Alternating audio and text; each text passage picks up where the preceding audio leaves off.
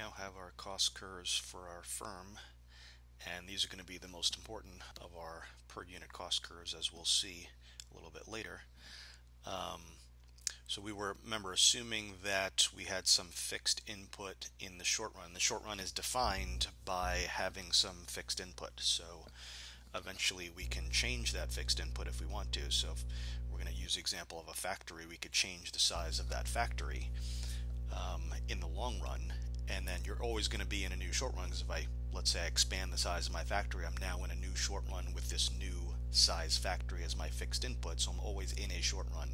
It's just that in the long run I can make adjustments to any fixed input, so everything is variable in the long run. Uh, so these are going to be, this is going to be my representative firm. Now this ATC curve that we're looking at is for a given fixed, at least one fixed input. So there's some fixed size factory or whatever our fixed input is. So this is our short run ATC curve that we're looking at and right and we're usually going to be concerned with what's going on in the short run with this firm and now we're going to decide okay in the long run maybe I want to change this fixed input I want to expand my factory contract it whatever um, so I want to now be able to change this ATC curve to get on a different ATC curve so a different size factory remember what makes up this this curve is that we have those fixed costs, which gives us average fixed costs plus our variable costs, gives us average, this average total cost. So for a large factory, larger factory, for example, we might have a larger fixed cost, but obviously there are cases where it might make sense to have a larger factory. So now we're going to look at this long run choice. So suppose we have these different size factories that we're choosing from. Um, let's say this is like a small, medium, and large factory. Um, because if you can imagine, you know, if I extend the all of these curves outward, I didn't do that on this picture, um, but let's say this large factory, you know, would start the costs all the way up here somewhere. I would have really large fixed costs that I would have to spread out for this large factory, and so that's being reflected in this ATC curve that would start way up here somewhere. Whereas this maybe is smaller, um, so it might make sense if I'm only expecting to produce a smaller amount of output, I'd want to choose the smaller size factory because there's no point in incurring all these massive fixed costs if it's not going to make sense and I'm not going to be producing enough output. Imagine it's like a car factory and I'm going to have a small production line versus a huge production line. You know, I'm going to be buying a lot more machinery and so that that could be part of my fixed costs as well, um, as well as the actual size of the building, for example. Um, so, so imagine I'm choosing between these three cases and so if I choose this large factory and incur all these fixed costs and buy all these massive machines, and I use all that to produce a very small amount of quantity, that's going to be very costly. So when I go to figure out my average cost, I'm going to be all the way up here somewhere um, with very high average cost to produce just a small amount of output. Now it would make sense if I start producing a larger amount of output, then I can spread out those fixed costs um, and be somewhere over here you know, if I'm expecting to produce this high quantity of output, then I'd want to have this lower cost as opposed to if I tried to use my small factory and produced a large output. Now we can extend this line outward. You know, I'm way in the diminishing returns range here, and I may not even be able to get out to this point. You know, I may just go vertical over here. But imagine that I could. It's just going to be very costly.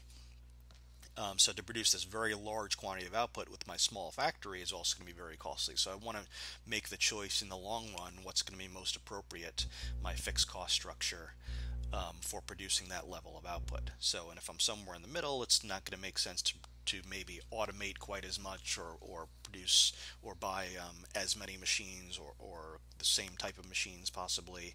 So I have this middle sized factory also. So basically I'm going to make some choice and then in the short run you know that that's what I'm looking at here. This is going to be my short run ATC curve, so I'm just labeling that over here as the short run ATC curve.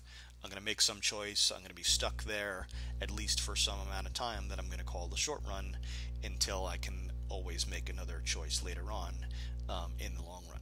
So in this case, I'm just making three choices, but obviously given the amount of output that I expect to produce, I'm going to pick the curve that's going to lower my average cost. So if I expect to produce, you know, this much or or or this much or or um, even this much, um, I'm going to choose this smaller size factory, right? So for this particular quantity, which curve can I do the best on? Where can I lower my average cost? Well, this is the best I can do, right? If my middle size factory would put me here, the large size factory would put me all the way up here somewhere. So those are my three choices given this particular quantity, right? And it would make sense to produce um, and in that first factory, right? Once I pass this point, now it makes sense to be on this curve. Um, so anywhere over here, it's going to make sense to be in that middle size factory, assuming these are my only three choices, um, because I could produce this middle size output on my first um, size factory, but I'm way in diminishing returns are going to be up here, and, and looks like this is kind of the same because I'm not taking advantage of all the, the fixed costs that it's going to cost me for this larger factory, so better off doing this middle size, maybe not buy as many machines or whatever the difference is going to be. And then if I produce enough up to this point, now it's going to make sense to have that big fixed cost because I can spread it out enough, lower my average cost, and the best I can do if I'm going to produce a large quantity is beyond this curve. So basically in the long run, I want to pick for each, any given quantity, what is my lowest cost going to be? So which curve do I want to be on? And that's what our long run ATC curve is going to be. So basically it's going to be, and, and by drawing it as, as a smooth line here, what I'm really assuming is that there's lots of intermediate steps here. So I could have, you know, a slightly larger factory that's going to hit the curve right here, and someone that's a little bit bigger. And so by drawing it like this, I'm really assuming I could make really small adjustments in, say, the size of my factory or number of machines or something like that. Um, and so in the long run, I could be anywhere on this curve. I'm going to choose the lowest possible average cost I could find given that particular quantity. So if I chose this, I'm not showing it here, but I, I, I might have a, another size factory that's that's suited just exactly right for that particular level of output. Um, and so the long run average total cost curve is just the, the lowest possible average costs that I could find for any given particular quantity. So I'm going to trace out the points on these different short run ATC curves. Um, now the reason it has this shape is because in the beginning we have what's called economies of scale. Um, and all that means is that we have declining long run average total cost as we produce more.